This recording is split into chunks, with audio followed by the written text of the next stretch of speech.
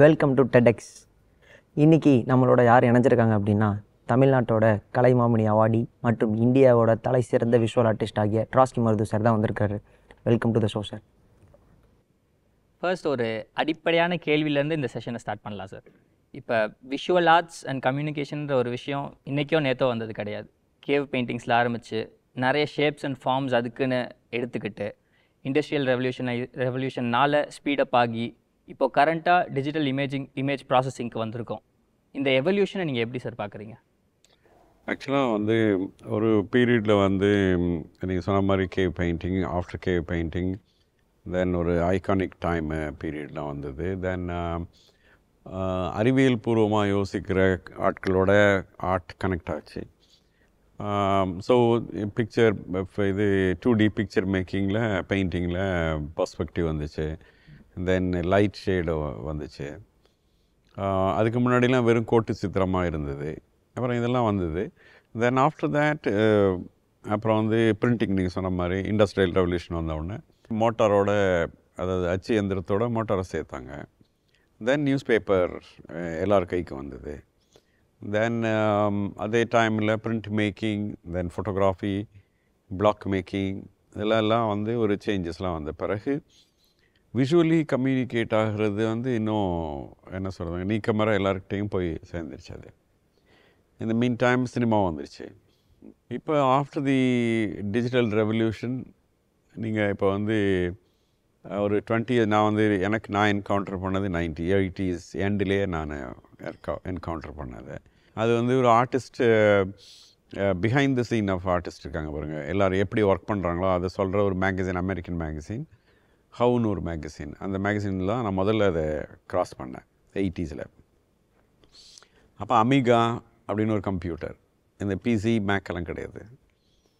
அந்த அப்போ வந்து ஃபஸ்ட் டைம் நான் ஒரு கம்ப்யூட்டர் அண்ட் ஆர்டிஸ்ட் ஃப்ரெண்ட் அப்படின்னு ஒரு ஆர்டிக்கிள் தென் ஒரு ஆர்டிஸ்ட் யூஸ் பண்ணுற இதையும் பார்த்த பிறகு கம்ப்யூட்டர் எனக்கு கை கிடைக்காமையே கூட நியர்லி ஒரு ஃபைவ் இயர்ஸ் அந்த மேக அந்த அமிகா மேகசின் அமிகா வேர்ல்டுன்னு ஒரு மேகசின் அதை மட்டும் வாங்கி படிச்சுக்கிட்டே கனவு கண்டுகிட்டே இருந்தேன் தென் ஸ்லோலி கம்ப்யூட்டர் எனக்கு கைக்கு வந்தது. நான் வந்து முதல்ல அதை அணுகும்போது அது வந்து இருபத்தாறு லட்ச ரூபா இருந்துச்சு பிசி டுவெண்ட்டி சிக்ஸ் லேக்ஸ் அப்போ.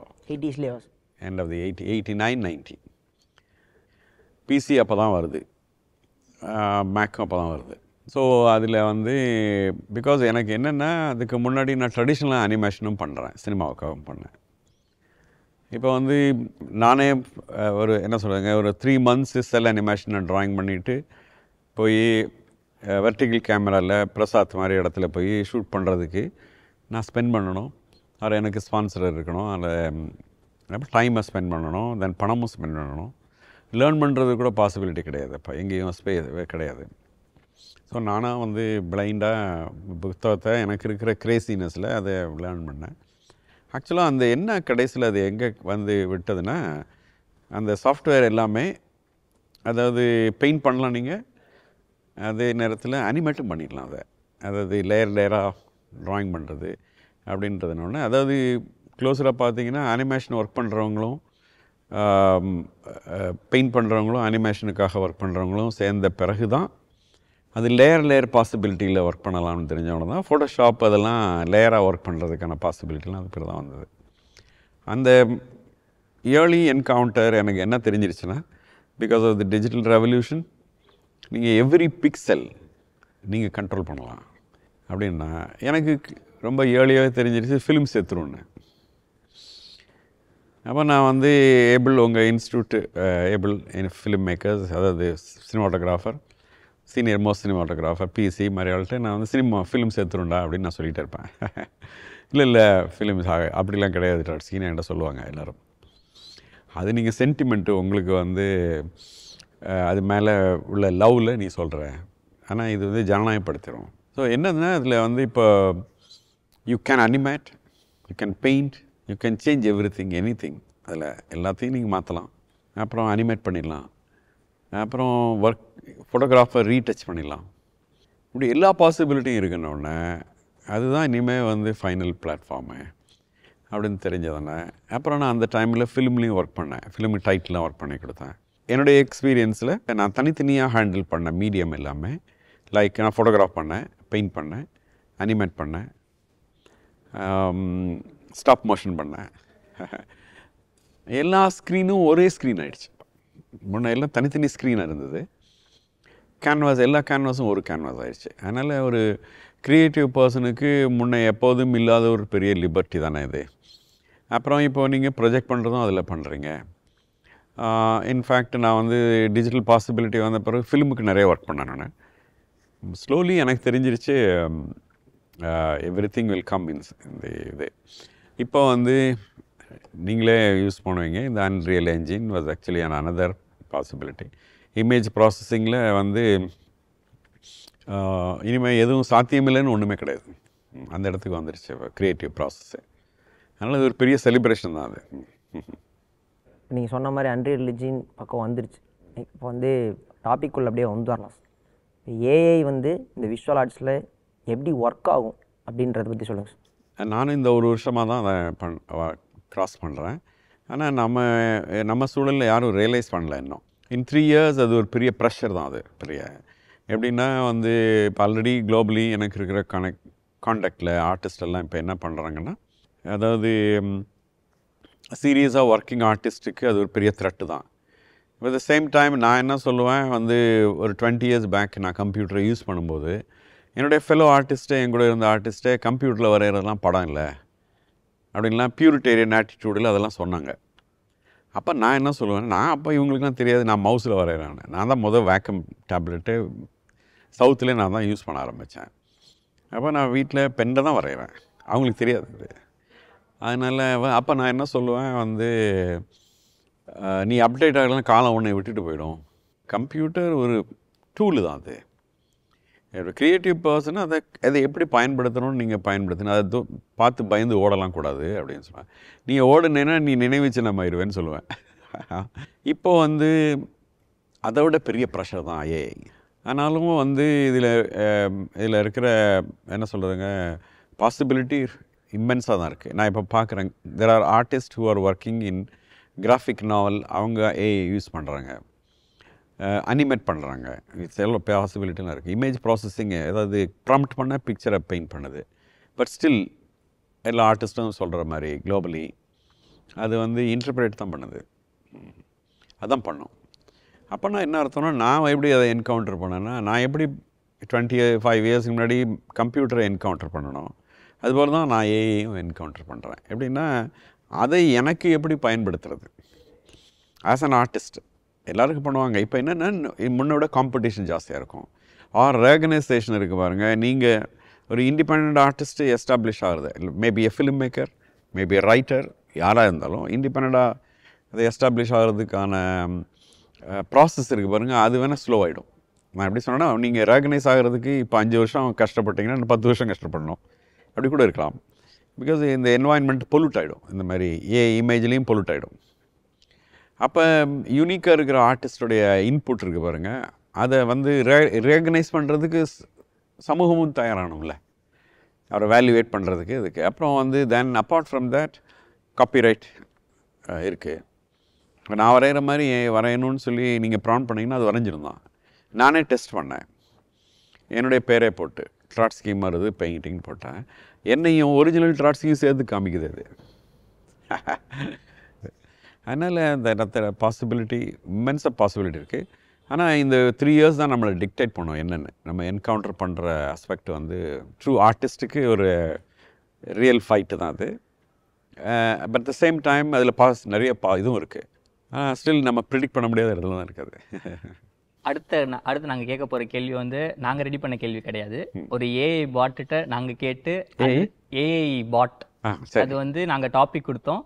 அது கேட்ட கேள்வி அது என்ன கேள்வி அப்படின்றத ஒரு ஷார்ட் கமர்ஷியல் பிரேக் அப்புறம் பார்க்கலாம். சரி. Thank you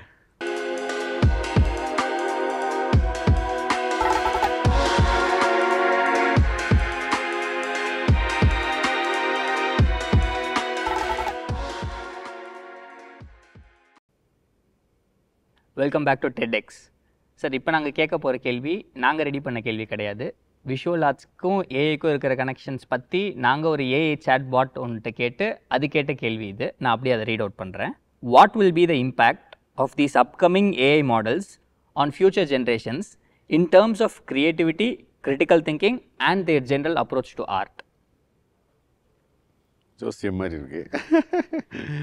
இன்ஃபேக்ட் எனக்கும் அது வந்து ரொம்ப மிஸ்ரபிள் ஸ்க்ரீன் தான் அது வந்து.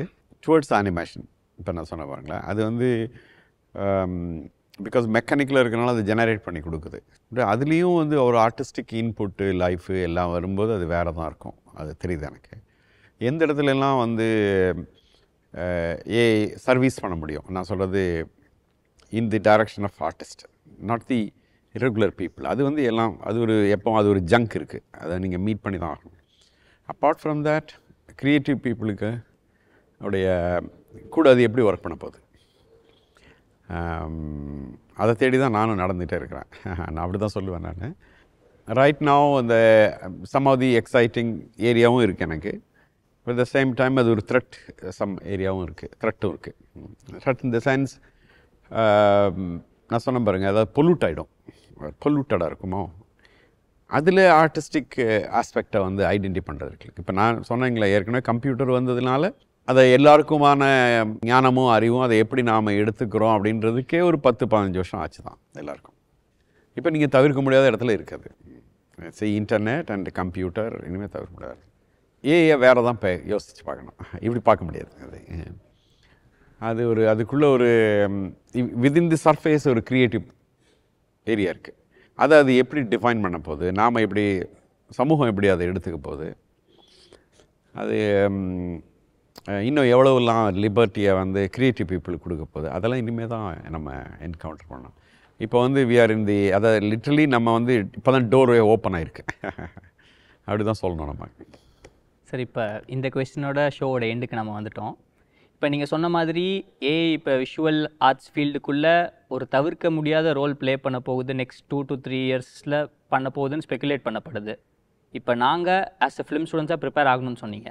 எந்த மாதிரியான விதங்கள்ல எல்லாம் நாங்கள் ப்ரிப்பேர் ஆகிக்க முடியும் சார் இல்லை நீங்கள் வந்து அதான் நான் சொன்னாங்களே பேரலாக அப்டேட் ஆகிட்டே இருக்கணும். ஒன் திங் இஸ் ஆக்சுவலி டெஃபினட்டாக இமேஜ் ப்ராசஸிங்கில் ரொம்ப கீனாக பார்த்துட்டே இருக்கணும். அப்புறம் ப்ரீ விஷுவலைசேஷனுக்கு பாசிபிலிட்டிலாம் இனிமேல் இருக்குது ஆல்ரெடி உங்களுக்கு தெரியுமா? ஒரு மென்டல் கேன்வாஸ்னு ஒரு அப்ளிகேஷனுக்கு தெரியுமா? இனிமேல் பாருங்கள் ஓகே அது you can you can paint in depth அந்த லேயர் லேயராக பண்ணலாம். The camera can go through that. You can change the position of the camera. டாப்பாக போகலாம் கீழே போகலாம் லோ ஆங்கிளில் வரலாம்.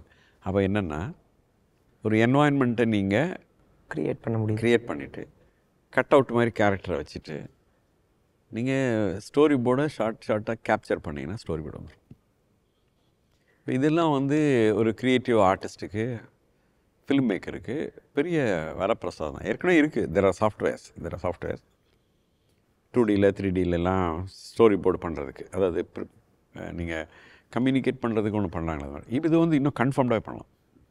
அது வந்து இப்போ நான் என்னென்னா நான் இனிமேல் வந்து வேகம் வந்து அஸ்யூம் பண்ண வேண்டியதில்லை.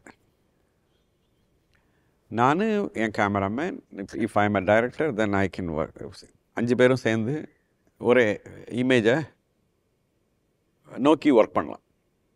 இந்த மாதிரி தான் இமேஜ் வரப்போகுது. இதுதான் நம்ம அடைய போகிறோம் அப்படின்னு அஞ்சு பேரும் ஒன்றா யோசிக்கலாம். அப்போ அது வந்து என்ஹான்ஸ்டாக இருக்கும். சூப்பர். செம இன்ஃபர்மேட்டிவாக போச்சு இந்த செஷன் கண் கன்ஃபர்ம் கண்டிப்பாக உங்களுக்கு ஹெல்ப்ஃபுல்லாக இருக்கும்னு நம்புகிறோம் ஸோ வேற ஒரு செஷனோட உங்களை மீட் பண்ணுற வரை அதுவரை எங்களோட சைன் ஆஃப் ஆனது இளங்குமரன் மற்றும் Mukesh. Thank you sir thank you sir